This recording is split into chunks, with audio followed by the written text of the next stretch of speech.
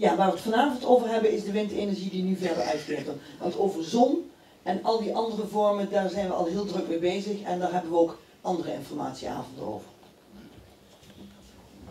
Meneer uh, Rob Rietveld staat hier bij de microfoon. U hebt vanavond de grootste leiding gehad in deze avond om de mensen door alle kaarten heen te leiden en door alle processen heen te leiden. Wat vond u daarvan? Een zeer interessante avond en uh, ook heel veel reacties van de mensen, wat we ook wel verwacht hadden. Uh, men is erg betrokken bij dit proces, uh, ook erg betrokken met het onderwerp. Men voelt toch wel dat het in hun eigen woon- en leefomgeving een grote invloed zal hebben. En dan zie je ook dat de mensen reageren en heel veel vragen hebben en heel veel opmerkingen hebben. En dan ook weer ook echt wel vragen, ja, waarom kan het niet anders en kan het niet beter? Nou ja, daar willen wij antwoord op geven. Het proces is dat we samen met een delegatie van, uh, van de leefbaarheidsgroepen in, uh, in Wiegen, uh, van elke leefbaarheidsgroep twee personen, samen met twee mensen van de gemeente, hebben een werkgroep gevormd. En met de werkgroep gaan we kijken op wat voor manier er windenergie mogelijk is in Wiegen. En als die dan mogelijk is, waar is het dan mogelijk, onder welke voorwaarden en waar moeten we dan rekening mee houden? En wat vinden dan ook de mensen die daar in de buurt wonen ervan?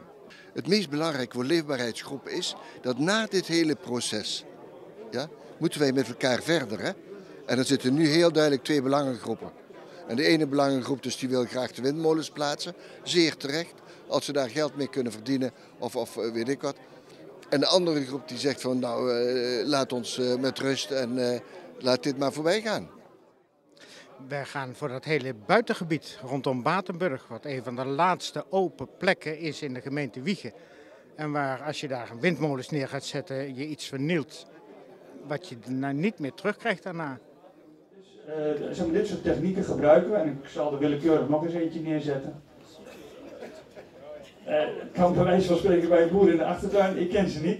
Uh, er werden vanavond wel wat, wat verzachtende woorden uitgesproken in de zin van ze zouden nog wel eens weg kunnen als de economische levensduur verstreken is. Maar dan praten we al gauw over jaren 25. Dus ik denk dat dat het aspect is waar we eh, geen rekening moeten houden. We moeten gewoon gaan voor de zaak. En eh, dat vraagt alle aandacht. Zeker ook omdat Batenburg een beschermd stads- en dorpsgezicht is. Het is niet zomaar een stadje, een van de oudste stadjes van Nederland.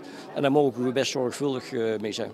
Wat vond u van het voorstel van de belangengroep van de grondeigenaren om geld terug te geven, eventueel om de A50 op te knappen? Nou, het is in ieder geval een manier om, om uh, verschillen te overbruggen. En als zij dat kunnen gebruiken, nou uitstekend. Er zullen altijd mensen in de omgeving uh, wonen. En uh, ik vind het zeer uitstekend dat die daar ook een beetje voordeel aan hebben. Wanneer verwacht u in Wiegen de eerste windmolen? Dat is een lastige vraag, want de uitkomst van de werkgroep kan zijn dat er geen wind in, uh, windenergie in Wiegen zal komen. Maar stel dat er wel een locatie is die geschikt is en waar we met z'n allen uit weten te komen, dan nog zal het nou ja, 2019, 2020 zijn voordat de windenergie gerealiseerd wordt.